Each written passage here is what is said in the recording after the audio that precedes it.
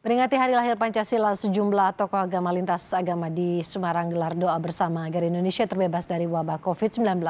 Doa bersama juga bertujuan untuk mempererat tali silaturahmi dan juga persatuan antar umat beragama di tengah pandemi corona.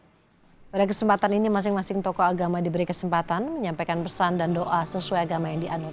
Usai berdoa, mereka menggelar upacara bendera dalam gereja dan melakukan hormat kepada bendera merah putih.